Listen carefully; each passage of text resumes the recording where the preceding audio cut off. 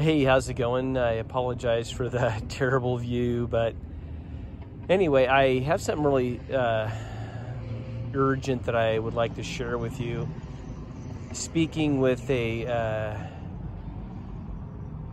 dear friend of mine, we were discussing that when this dear friend was just a child, six years old, and they got their very first home computer, that the Lord brought a vision about, no kidding, what is going on right now, about the mark of the beast, about the abomination that causes desolate, and Mr. Bill that is pushing all this is this was actually presented to this dear friend of mine.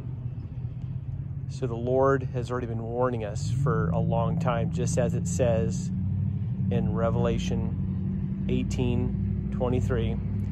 The light of the candle will shine no more in thee, and the voice of the bride and the bridegroom will be heard no more in thee.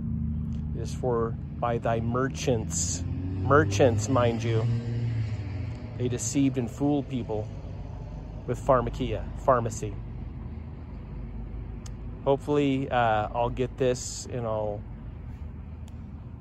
and I'll actually present this on this channel soon. Have a blessed day. We're almost home, my friends. It's in Jesus' name I pray. Bye bye.